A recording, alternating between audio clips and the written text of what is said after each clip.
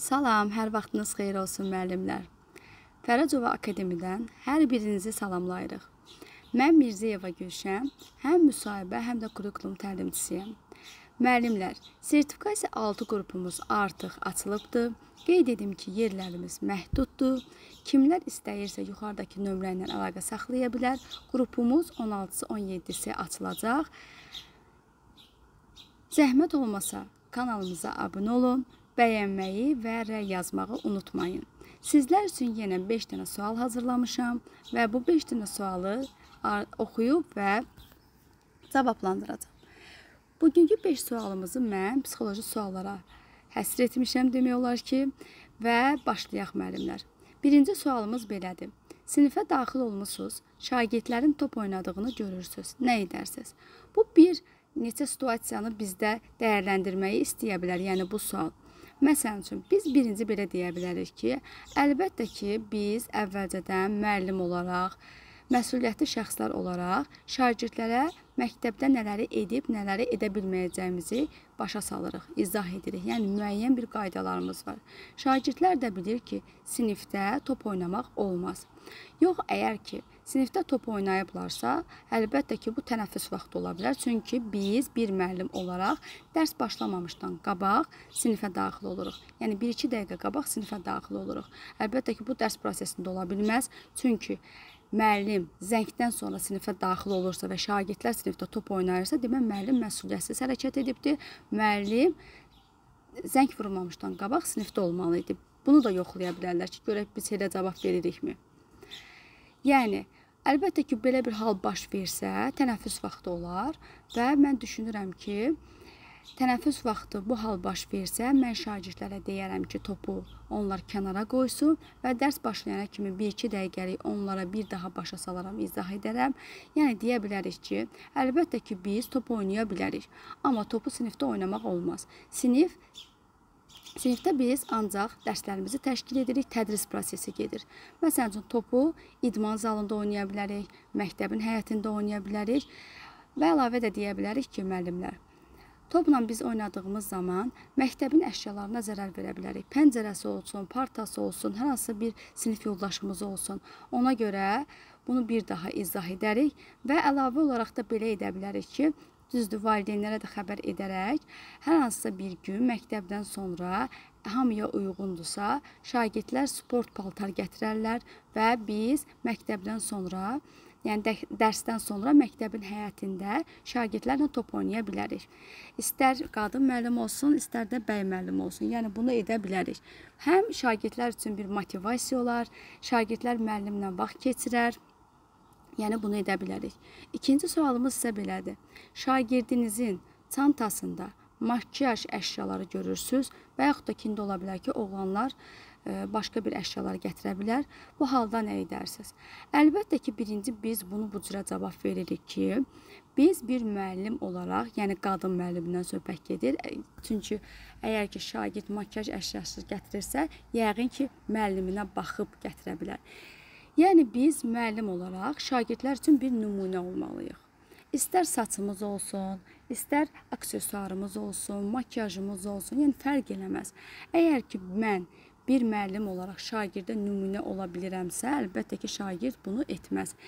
Çantasında makiyaj gətir, makiyaj əşyası gətirməz və yaxud da ki, e, lak vurmaz, dırnaqlarına və s. Yox, əgər ki, belə bir hal baş versə, indi ola bilər ki, şagirdi kimlərəsə baxıb, yəni bunu etmək qərarına gəlibdir. Biz onunla dərsdən sonra fərdi söhbət aparmalıyıq. Yəni izah edə bilərik ki, əlbəttə ki, böyüyəndə sən makiyaj çəkəsən və s. yəni lak çəkə bilərsən, amma məktəb vaxtı yox. Yəni məktəbə bu halda gəlmək olmaz. Bir e, müəllim olaraq da biz nümunə olmalıyıq, şagirdə bunu izah etməliyik e, və çantanın sırf məktəb əşyalarından ibarət olduğunu, yəni məktəb əşyalarımızı qoya bilərik çantaya. Bunu izah edə bilərik. Yəni bizim məktəb əşyalarımızı çantamıza qoya bilərik. Digər əşyaları isə yox. Məsələn üçün, əgər ki oğlan şagirdimizdirsə, onun çantasında nələrsə biz görürüksə, müşahidə ediriksə, əlbəttə ki, yenə də dərsdən sonra şagirdlə söhbət apararıq, onu başa salarıq. Yəni məktəbli çantasını sadəcə məktəbli əşyaları daşımaq üçün istifadə etdiyimizi deyə bilərik. Əlbəttə ki, sonra biz şagirdi izləyirik, görək şagird yenə bu hallara yol verirmi? Əgər bu hallara yol verirsə, e, yenə də bir müəllim olaraq danışa bilərik və görsək ki, ən sonda alınmır, onda e, psixoloqla məsləhətləşib bunu aradan qaldıra bilərik. Ola bilər ki, hər hansısa bir e, belə deyək də, oğlan təhlükəli bir əşya gətirə bilər, ola bilər də, yəni e, təhlükəli bir əşya gətirə bilər və s. nəyisə biz onun çantasında müşahidə edə bilərik. Ona görə bunu vaxtında qabağını almaq lazımdır. Yəni vaxtında buna bir tədbir görmək lazımdır ki, sonra başqa bir proseslər baş verməsin. Və ən birinci isə müəllim nümunə olmalıdır şagirdlər üçün. Əgər ki, müəllim normal şəkildə məktəbə gəlib gedirsə, şagirdlərin diqqətini cəlb edəcək aksiya suallardan və yaxud da ki, hər hansısa bir əşyalardan istifadə etmirsə, onda əlbəttə ki, şagirdlər də istifadə etməyəcək. Yox, etsə də ola bilər ki, ətrafda e, düşdüyü mühitdə kimdəsə görüb, ona görə onun üçün maraqlı gəlib və etmək qərarına gəlibdir. Çantasına qoyub və s. Amma bir müəllim olaraq şagirdləri müşahidə etməli və bunun e, qarşısına qabağını e, qarşısını vaxtında almaq lazımdır. Yəni tədbir görmək lazımdır. Digər sualımız isə belədir. Şagird dərs prosesində yatıb dərsə davam edərsiniz, yoxsa şagirdi oyadarsınız? Burada da bir neçə situasiya var müəllimlər. Deməli, belə edə bilərik ki, məsəl üçün, əgər ki, şagird dərs prosesində yatıbsa, həm öyrənmək istəyirlər ki, görək müəllim dərsi necə keçir ki, şagird dərs prosesində yatıbdır. Biz deyə bilərik ki, əlbəttə ki, bir müəllim olaraq biz dərs prosesini maraqlı keçirik, yəni mühazirə formasında keçmirik ki, şagird sinifdə yatmasın. E, yəni belə bir hal baş verməz. E, yəni dərsdən sıxıldığı üçün şagird sinifdə yatmaz. Yox, əgər ki, belə bir hal baş veribsə, əlbəttə ki, yəni şagird sinifdə yuxuluyursa, yəni yuxusu gəlirsə, əlbəttə ki, ola bilər ki, evdə valideyn yuxu rejiminə riayət etməyib şagirdi. Yəni şagird düzgün yatmayıbdı. Yəni müəyyən bir müddət ərzində yatmayıbdı. Ona görə də şagirdin sinifdə yuxusu gələ bilər. Yəni bu hal ondan da ola bilər. Yəni təkcə müəllim dərsi maraqsız keçdi, yəni bundan yox. Ola bilər ki, şagird həqiqətən axşam normal yatmayıbdı. 4-5 saat yataraq gəlibdi məktəbə və sinifdə onun e, belə deyək də yatmaq istəyir. Əlbəttə ki, həm də bizdən yoxlamaq istəyir ki, belə bir sual versələr. Görək ki, müəllim şagirdin yuxusu gəlir, yatmaq istəyir. Bunu müəllim necə təşkil edəcək? Yəni şagirdlərə nəzarət edirmi müəllim? Nəzarət edirsə, əlbəttə ki, müəllim bunu hiss eləyəcək və vaxtında onun tədbirini görəcək. Yox. Əgər ki, nəzarət etmirsə, dərsini danışa-danışa gedirsə, əlbəttə ki, şagirdə fikir verməyəcək, şagird də sinifdə yatacaq. Yəni bunu da yoxlamaq istəyir. Yox, ola bilər ki, məsəl üçün lövhədə biz nəyisə yazdığımız bir momentdə şagird də çöndü ki, yatıbdı. Yəni bir neçə hal ola bilər burada. Məsəl üçün ola bilər ki, şagird ya yatmaq üzrədir, biz onu müşahidə edirik, tez tədbirimizi görürük və yaxud da ki, lövhədə yazı yazdıq, çöndük, gördük ki, şagird yatıbdı. Aha, onda biz nə edirik müəllimlər? Deməli biz hündürdən səslənirik. Şagirdlər Məsələn üçün qələmləri yerə qoyun və ayağa qalxın. Hündürdən deyirik şagirdlər ayağa qalxır. Gördüksə ki, məsəl üçün həmin şagird qalxmır, e, şagirdə yenə yaxınlaşırıq, yavaşcana ehmalca onun çiyninə əl vururuq və bir daha belə, yəni e, bir-iki dəfə yüngülcə əl vururuq və bir daha deyirik. Şagirdlər ayağa qalxın. O şagird də qalxacaq ayağa. Yatmasa belə və yaxud da ki, yatsa belə bu halı edə bilərik. Ayağa qalxır onlar, 1-2 dəqiqəlik onlara sinifdə məşq elətdiririk, otururlar, qalxırlar sağa, sola və şagirdin biraz e, yuxusu dağılır. Daha sonra isə biz şagirdi məsələn lövhəyə çağıra bilərik. Onun üçün biraz həmən müddətdə, o dərs müddətində biraz hərəkətli tədris prosesini təşkil edə bilərik. Əlbəttə ki, yuxusu dağılsın və dərs prosesindən uzaqlaşmasın. Daha sonra isə dərsdən sonra şagirdlə söhbət apararıq, valideynə deyərik ki, yəni ola bilsin ki, e, şagird axşam normal yuxu yatmayıb, ona görə də sinifdə o yatmaq istəyir. Yəni bunu aradan qaldırmağa çalışarıq və valideynə də izah edərik ki, yəni şagird normal yatsa, dərs prosesində normal iştirak edər. Yəni sinifdə yatmaz və yaxud da ki, yatmaq istəməz. Yəni bu bir neçə halda baş verə bilər ki, ola bilər ki, müəllim dərsi maraqsız keçib, yəni bunu öyrənmək istəyir və yaxud da ki, əgər ki, şagird axşam normal yatmayıbsa, məsələn üçün e, dərsdə yatmaq istəyirsə, müəllim bunun tədbirini əvvəlcədən görə bilirmi? Şagirdləri izləyirmi? Yəni biz əgər şagirdlərə normal baxsaq, normal onları müşahidə etsək, görərik ki, məsələn üçün tutaq ki, Həsən yatmaq istəyir e, və tez onun tədbirini görə bilərik. İndi oldu da insanlıq halıdır. Çöndük lövhədə nəsə yazdığımız bir müddətdə e, şagird yatdı. Onda da yenə də bu halı edə bilərik. Digər sualımız isə belədir müəllimlər. 5 ildən sonra özünüzü harada görürsüz? Bu sual da çox maraqlı sualdır. Məsələn üçün biz buna belə cavab verə bilərik ki, Düşünürəm ki, indi həm sertifikasiya müəllimləri, həm də ki, MİQ müsahibə müəllimlərinə aiddir bu sual. Düşünürəm ki, əgər ki, müsahibə mərhələsindən uğurla keçsəm, əlbəttə ki, 5 ildən sonra özümü yeni sertifikasiya mərhələsində görürəm. Çünki biz bilirik ki, 5 ildən bir sertifikasiya mərhələsi olur və yaxud da ki, deyə bilərik ki, yəni əlbəttə ki, müəllimlik fəaliyyətimə davam eləmiş bir halda görərəm. Həm nəzəri, həm də praktiki biliklərimi artırmış halda. Çünki daim bir müəllim olaraq öz üzərimizdə işləməliyik və yaxud da ki, məsələn üçün 3 il fəaliyyət göstərəndən sonra özümü direktor vəzifəsində görə bilərəm. Orada məsələn sizə deyə bilərlər ki, niyə məhz direktor, yəni maaşına görəmi və s. biz izah edə bilərik ki, əlbəttə ki, biz bilirik ki, bir müəllim olaraq bizim məsələn üçün 30 şagirdimiz olur, 50 şagirdimiz olur, 30 və 50 şagirdin məsuliyyəti bizdə olur, biz onları öyrədirik və s.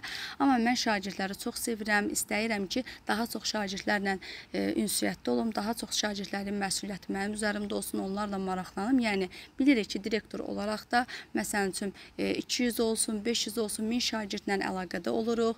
E, yəni onlarla münasibətdə oluruq. Onları e, izləyirik. Onların məsuliyyəti bizim üzərimizdə olur. Yəni e, biri var ki, məsələn 30 şagird, 50 şagirdlə biz əlaqədə olaq, onların məsuliyyəti, onları öyrətmə prosesi, tədris prosesi ilə məşğul olaq. Biri də var ki, e, məsələn 300 şagirdlə, 500 şagirdlə, 1000 şagirdlə, yəni sırf şagirdləri sevdiyim üçün istəyirəm ki, 30-50 şagirdlə əlaqədə olub onlarla maraqlanmaq yox, e, daha çox şagirdlərlə maraqlanım və onların məsuliyyəti mənim üzərimdə olsun. Yəni bu cürə deyə bilərik. Daha sonra isə hansı temperament tipinə məxsussuz? Üzrü sayın müəllimlər, burada hərf səhvliyi olubdur, yəni tez tələsik yazdığımız üçün. Deməli, biz bilirik ki, temperametrin 4 tipi var. Əlbəttə ki, sanguinik, xolerik, flegmatik, mexanik. Birinci biz bu temperamentin tiplərinə baxaq ki, hansında hansıdır, yəni hansı temperament tipində hansı xüsusiyyətlər, xarakterlər var. Daha sonra isə bu sualı cavablandıra bilərik. Əlbəttə ki, hansı daha uyğundursa onu deyəcəyik. Birinci başlayaq sanguinik. Sanguinik insanlar, biz belə deyə bilərik ki, belə insanlar necədir? Belə insanlar daim ünsiyyət etməyi sevirlər. Göz qabağında olmağı, ondan sonra düşdükləri mühitə tez öyrəşə bilirlər. Düşdüyü pis vəziyyətdən, məsələn, çətin bir vəziyyətdən tez çıxa bilirlər. Daim işləyirlər, bir yerdə dayanmağı bacarmırlar. Daim belə deyək də iş prosesində olurlar. Belə insanlar gülər üzlü olurlar, mimikaları çox zəngin olur. Bu sanguinik insanlardır. Xolerik insanlar isə bu insanlar da zirək olur. Məsələn üçün hər hansı bir işə başlayanda onu sonuna kimi davam elətdirirlər. Amma bu insanlarda mənfi xüsusiyyət var ki, tez özlərindən çıxırlar. Yəni səbirsiz insanlardılar. Daha sonra melanxolik insanlar bildiyimiz kimi melanxolik sözündə başlıqda mel yazılır. Yəni mel də bilirik ki, təbaşir deməkdir. Mən məsəl üçün bu cürə izah edə bilərəm ki, təbaşiri möhkəm əlimizdə sıxanda ovxalanır. Düzdürmü? Yəni çox kövrəkdir. Bu insanlar da elədir. Çox kövrəkdir, həssasdır, tez inciyirlər, tez küsürlər. Nədənsə inciyəndə və yaxud da küsəndə onu uzun müddət yadlarından çıxartmırlar. Nədənsə bir şeydə uğursuzluq əldə eləyəndə deyirlər ki, mən bir də e, digər məsəl üçün cəhdlərimdə də uğursuzluq əldə edəcəm, e, mən bunu edə bilmirəm, özlərinə inanmırlar, güvənmirlər və s. Yəni qısa formada deyək ki, qapalı düşüncə tərzinə malik olan insanlardır bu insanlar. Və flegmatik insanlara gələr. Flegmatik insanlar həqiqətən qara dinməz insanlardır. Yəni onların danışdığını görmək biraz çətin məsələdir ki, yəni siz onların danışdığını görəsiz, ağladığını görəsiz, güldüyünü görəsiz. Məsələn, hər hansı bir situasiyada e, gülməli bir hadisə olduğu müddətdə belə siz onların sadəcə gülümsədiyini görə bilərsiniz və digər insanlar, yəni e, hədsiz dərəcədə gülürlər, amma onlar isə sadəcə gülümsüyür. Və yaxud da ki, hər hansısa bir hadisə olanda, e, deməli pis bir hadisə olanda, düzdür, uzaq olsun, pis bir hadisə olanda digər insanların ağladığını, amma o insanın sadəcə gözündən yaş axdığını görə bilərsiniz. Elə bil ki, belə insanlar, yəni reaksiyaları e, çox zəifdir. Necə deyərlər? Çox reaksiya verməyi sevmirlər. Öz qəlblərində içində yaşayırlar duyğularını və ə, e, onların dediyimiz kimi qara dinməzdir, danışmağı çox sevmirlər. Ə, e, düzdür, onlar çox sadiq insanlardır, amma danışmağı sevmirlər. Ünsiyyətsiz deyillər, qara dinməzdirlər. Onların ağlamaqlarını və gülməklərini siz görə bilmərsiniz. Yəni bu cür insandırlar. Əlbəttə ki, bu temperament tipindən müəllimlər hansı bizə daha uyğun ola bilər? Hansı müəllimə daha uyğun ola bilər? Bəli, sangvinik. Sangvinik nətər insanlar idi? Müəllimdə olan keyfiyyətlər sangvinikdə var idi. Yəni məsuliyyətli idi, zirək idi, daim işləyən idi, ünsiyyəti sevirdi, diqqət mərkəzində olmaq olsun, mimikaları zəngin, düşdüyü vəziyyətdən tez çıxa bilirdilər, e, düşdüyü yerə tez öyrəşə bilirdilər. Əlbəttə ki, biz burada sangviniki çəkirik. Yəni hansı uyğundursa onu deyirik. Yəni sangvinik. Deməli müəllimlər bu qədər Düşünürəm ki, sizin üçün faydalı bir video oldu. MİQ və sertifikasiya müsahibə mərhələsi olan bütün müəllimlərə uğurlar arzulayırıq. Zəhmət olmasa kanalımıza abunə olmağı, bəyənməyi və rəy yazmağı unutmayın.